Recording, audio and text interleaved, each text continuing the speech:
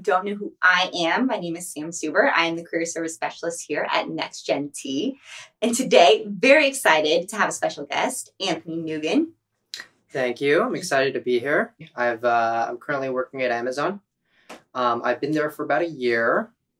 Uh, I grew up in the San Jose area. Um, went to school in Irvine, Nearing graduation is when I applied the shotgun technique again, and I just threw my resume out there. So now I got some internship experience. This is how I filled it up. Mm-hmm. Um, along the way uh, is when I started working on a lot of personal projects too.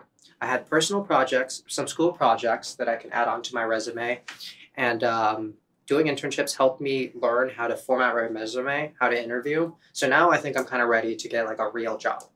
Um, well, get like a real full time job yeah. so I can start a career and get like set up my 401k and all the other things you need to do as an adult. So a couple months before, I threw out my application. First was just going for regular security jobs. I was looking for a security analyst, maybe a security engineer. I really wasn't sure what I was looking for. But um, you knew security yeah, I was at the point since I had like a year of experience with security. Yeah. I wanted to just um, do something with security. Yeah. So that's when I started doing more research on my own to see what type of security jobs are there. What can I do with my set of experience now? Um, what I can get into. Yeah. With that, I, um, with with a resume filled with projects, internship experience, and like other technical words that shows what kind of skills I had. Um, I did get some interviews more, so now I just started getting more interviews. Um, more interviews lets you a lot of more practice. I failed a lot of interviews because um, sometimes when you talk to people, they get like, "Oh, these big jobs and stuff," but no, uh, I failed like like five to five interviews. There's, I had a lot of failures along with my successes. So it's not always like daisies and stuff. Not everyone gets to where they are without failing a lot. So it's mm-hmm. okay to fail. That was one thing you need to learn too, because you need to use each of those failures as an opportunity to grow and to learn from it. Yep. So failed a lot of inter- I mean, failed a lot of interviews. Um, um, so good thing the Amazon interview went well because I failed a good amount of times before I had my Amazon. It was good practice. It was definitely practice. great practice. Yeah, I had great practice before going in. So how did you find Amazon? How you? Oh, sorry down. Okay, so um, I was at the point where sometimes I would apply to jobs multiple times because I forget that I applied to the same job. Right. And uh, there's a point where you just have to put your resume inside a database of a company.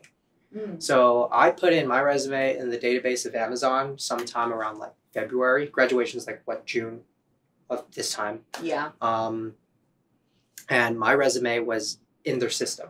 And you did that just by applying to a job that I, I applied to one position at Amazon, but mm-hmm. then I mm-hmm. applied to um, I I they also said, hey, if you if you want to like raise increase your opportunities of getting an interview, just put your resume on their database. Uh. This is when I'll go to how not only just humans look at your resume. Um, how I formatted my resume was I had a lot of technical words of the skills that I knew. Like in security, there's um, the type of tools I would use. I would use like um, based on the experience I had from my, my internships, IDS, which is like an intrusion detection system. I networking things like TCP, IP, and all the stuff that you would see back here. um, I would say like uh, the security scanning tools I used. So like I knew how to do like Nmap scans, ports, which is a port scan. I needed to like learn how to analyze packet captures using Wireshark. So all these technical words that will very likely appear on the job description because many times is based on the job description is when they would first have um, computer generated things to look for keywords in a database of resumes. And uh, mine came up after about like a month before I was going to graduate. And then the recruiter um, from Amazon just hit me up. They were like, uh, hey, uh, your resume looks like it kind of fits uh, the description here. Do you want to go for an interview? And I'm like, oh, I'm not gonna get the job, but sure, I'll try. like practice. Yeah. And when you say hit you up, do you mean they called you? They emailed you? How did they? They emailed me. They just okay. reached out to me. So that's that's when luck comes into play too. Um, so putting your putting your resume out there can sometimes lead to some responses back. Um, so they reached out to me, and I'm like, sure, I'll try. But I was going in with the mentality of, if I get it, great. If not, I mean, uh, I have like backup offers from smaller companies. Um, um, so at first I was gonna go for one of the smaller companies that was just where I was just gonna be like a regular security analyst. Mhm. Um, but um, no, I moved on, and um, uh, after passing the Amazon interview, which I'll talk about the process later, Good. um, then um, took the Amazon role instead. That's exciting. That's very exciting. So, maybe talking about the interview process. Was there multiple interviews that you did? Were they technical, non technical? Mhm. What did the interview process look like? Okay, so um, for Amazon, they Amazon and a lot of other large tech companies, we call them. We usually refer to them as the big N tech companies because um, we use N just because there's a lot of them just go in and out on what they are. They're usually the FANG companies like Facebook, Amazon, Netflix, Google, Hmm. Apple. They all kind of interview somewhat similarly. But what made Amazon um, itself it in its own? Amazon has a set of leadership principles, and you need to um, use examples when you're interviewing. Use examples that would relate to what some of those leadership principles are. Um, some of those leadership principles are like um, customer obsession, like you focusing on the needs of a customer. Um, you like uh, aiming big, like always aiming big, and like um, scaling what you can do. And another leadership principle would be um, choosing the right decision, but quickly because you also need to like work fast in a business. You need to be able to like work efficiently. There's a set of leadership principles. That's what you needed to base my uh, um, uh, my interview answers are. First, I'll talk about the structure. The structure of the Amazon interview, which is similar to a lot of other tech interviews, is the first one's always the screening one. That's when an HR just calls you. That's most of the time where like they looked at your resume, they they um, and they think you might be a possible candidate. First, for your for your first interview, um, that's when they just ask if you are human like if you can if you can probably speak and if you can talk like basic first screen is usually really easy that's when you work out logistics that's when they tell you uh, um, what you're looking for if you have any basic questions for hr um, how that relates you don't have to go too much in, in depth for what technical things you need for your first interview so Yeah. you don't need to push it or anything this is just working out Yeah, and mostly mostly over the phone. This Yeah, over it's usually it's always over the phone. The first one's over the phone. The second one, um, for inter- for Amazon, there was uh, four interviews for me in total. First one was phone screen. Second one was the manager. Third one was like manager and like another technical guy, and then fourth one was in person. Oh, so it wasn't in person until the very last one. Yeah, for Amazon it was that way for me Right. for my position. Yeah. Um, um, so the first one was talking with about the manager. That that's where he gives me a background of what the description was, and um, and then he asked me some basic questions about what like um, networking questions. So in security, networking questions happen all the time. Like des- describe what happens all the time. Like it's describe the the three way handshake or describe what um, how how one device talks to another or describe what happens when you click on google.com like if you search google.com press enter how does all that work? From you typing it on your keyboard to it you that the the website going back to their servers how it searches and then how it comes back to you to display back on your screen. So something like that is what they would usually ask what i got asked on my first interview Mhm. and I also got, got asked again on my in person interview, which is kind of funny because I just kind of regurgitate, regurgitate myself. You can find a lot of what questions they ask, like if you just Google it, or if you go on Glassdoor. So if you Glassdoor go on helpful. Glassdoor, Glassdoor, they'll just usually tell you what to do. So that's one way to prepare. Yeah. And then um, I answered a lot of technical questions. I was good enough to go to the next round. That's when I would talk to both the manager plus someone on the team. They would further ask me more technical questions over there.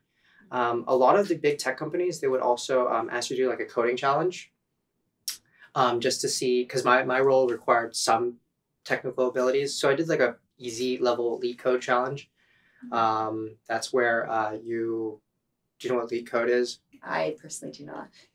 Oh, okay. So um, you can find out what a lot of the technical challenges are on LeetCode. Uh, LeetCode is just a website where they tell you easy and medium and hard level difficulty Hmm. coding challenges, and you just do it. you do it, and if you can, um, if you can pass whatever certain level, that's when you can go into the next round. So I did that. Then I had my in-person interview. Um, the in-person interview for Amazon lasted from 9 a.m. to I think like 2 a.m. So they're back to back interviews. Um, you do get a free lunch though, which was nice. They did feed me, Yeah. um, but it was like back to back one hour each person, and um, each person would ask me uh, usually like a technical one one set one interviewer would ask me like technical questions. Another would ask me non-technical questions.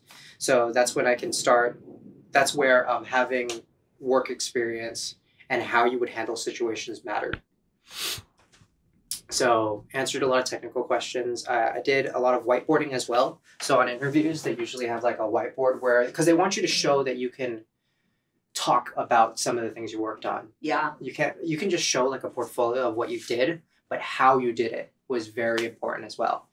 So um, like for example i had to describe what an architect how do how would i architecture like an entire security operations center? Um, so i would talk about i would draw like networking diagrams. I would draw how um, this device talks to this device using what protocol. If you include like an intrusion detection system in between um, this is where you would put it in. Um, and then and then uh, servers would be here computers would be here the outside internet would be the other. So i drew a lot of diagrams to describe what i did. Another whiteboarding problem that i did was uh, i worked on uh, how the web server was built so like uh, at my old internship i had to talk about how how the architecture of the front end to the back end to the database and how that communicates with other parts of other devices worked so drew a lot of pictures uh, and then i talked about it which was very important because you need to be able to describe what you're doing well where the other person can understand what you're doing um, Yeah. And before you had mentioned Yeah. that an important part was even documenting what you're doing. So you do something and then an important part is actually documenting. That sounds like being able to describe it is an important yes part in the yes interview too. and uh, pictures help too So, Picture. a lot of pictures. My lines are pretty good. You have to like connect one line to another to show that this computer talks to this computer. yeah. so um, uh, after my interview, there was like six people, super stressful. Like you come out shaking, like, oh my god, I can't believe I did this. And I'm like, well, I, I think it went kind of well. Um, you answer all the questions pretty smoothly. There was maybe one or two questions that you mess up on, but usually uh, when you're interviewing and they and then you can't answer a question, like they ask you a technical question like what does this mean but if you can't if you can't like if you're not able to answer correctly sometimes it's okay to say you don't know but you talk about what you would do to find out the answer because that's one thing you can like learn from an interview if you don't know what it is i usually talk about what i usually do is i just google it but if i have other people around me i would ask maybe another technical person that is working on the same project or ask for advice for whoever is around me just so i can get a better understanding of where it is right. um, another good skill to have is connecting one person to another. And then I was saying, like, okay, what if this problem can be solved by someone else, and I know who can do it? Um, I can connect those people just so you, so at the end, um, the project still gets finished at like a certain time period. Just because even though I don't know the answer to something, um, that's how you one way to find the answer. Exactly. that's in how your in your career, you're not going to know the answers to everything. Yeah, You exactly. want to be able to continue to learn. So that's almost good to showcase how you go about finding and learning new things. Mm-hmm. At Google, there's a thing called like a T-shaped skill distribution on how um, uh, a lot of hiring managers want uh, what they're looking for. The T is is kind of like this. So the bottom of the T would be um, someone that would know a broad range of skills first. So like, so people that know tech, they can refer to, they understand jargon from like everywhere else. Yeah. But your skill level for you to exceed and for you to like do really well in a certain field, that's when you want to start specializing in one thing. So let's say you know um, networking, and but if you want to start specializing to get like the top of the T, you would focus on security. But you could keep specializing, getting more specific. You can go um, from just security operations and like you analyzing data to you building tools that you would do to analyze the data for you, automating the process, and you keep expanding onto it. So you know a wide range of skills, and you can. Um, the wide range of skills helps you work with others, and then the specialized skills gives you a set of skills that um, allow you to really get good at what you're doing. And then there would always be less and less people doing that, so there's like less in competition, and then that just makes you more the valuable as like an asset to a company. What was the hardest part of your Amazon interview process? Okay, so um, Amazon, there's a thing called a bar raiser, and with a bar raiser, um, that is someone not on the team itself. A bar raiser is when you have, or is when someone from another team who has, who makes sure that that interviewee that's coming in raises the bar. I needed to be better than a lot of the other applicants already in, or like better than a lot of, or better than a, a some let's say like 50% of the current employees that might be on the team or so. Wow. That's, that's called a bar raiser. Amazon has these things called to make sure that a bar a bar raiser also comes in from a perspective that is outside the hiring team. The hiring manager has a set of things that they're looking for, right? They're, they need to fill this description. But a bar raiser makes sure you make sure makes sure that you fit fit into the Amazon culture. Like when I see people get interviewed, Mhm. we you want to see that you did your homework, you did your research. Right. So um, this is where a lot of the other resources come in. You want to know where to look. I look on Glassdoor. I check on Reddit, and I checked on other subreddits on what technical questions might be asked. I Google just like almost everything just to prepare for the interview. Yeah. If I can give some tips on what you would need to do to get like an entry level position in security, is you can get like a baseline of of those security certifications. Um, Network engineers.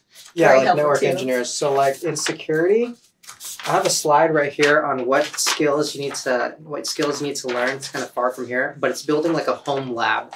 So in a home lab, uh, so like this is what I put here is like if an interviewer asks you how to deploy an IDS, an intrusion detection system, to monitor for attackers attempting to move laterally in a network, how would you describe it? And then if you have a home lab, you can talk you can build a lot of the security systems itself too because in a home lab is when one network would talk to another. Like you have one server that talks to another server. Within that server, you would have a lot of virtual machines. Each virtual machine has to either talk to each other or not talk to each other based on what, what you open and how you configure it. Um, inside each of your home labs and the virtual machines, you can add different tools to it. You can add uh, monitoring systems, you can have log management, so like ELSA and Graylog, and you can have like penetration testing virtual machines. The most popular one for security is Kali Linux. And um, you can have all that to work together, and you have like a full playground that you can play with that you can use to develop some of the skills um, that you need to get into security. Jacob Hess here. Thank you guys for viewing the video. I hope you really enjoyed it. And I'd also like to remind you that if you're truly serious about your career in information technology, be sure to check out our Career Blueprint and Engineer Training Program at www.zerotoengineer.com.